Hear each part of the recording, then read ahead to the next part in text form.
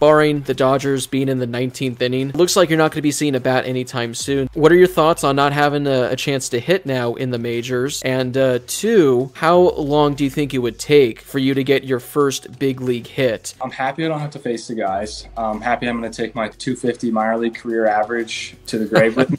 So I'm happy I don't have to face the guys. Would I like to have to face a pitcher? Yeah. Uh, I'm gonna go generously, probably take like 20 at bats to get a hit. Um, I like to think of myself like a good, decent hitter. Like I hit pretty good in high school and was gonna hit a little bit in college. I don't know, 20 maybe. If it's a doomsday scenario and we are like in the 17th or 18th inning somehow, are you going to go to Dave and say, listen, Dave, if you do need someone, I can lay a bunt down if needed. I can get the guy over to third. Are you are you willing to uh, chip in if needed?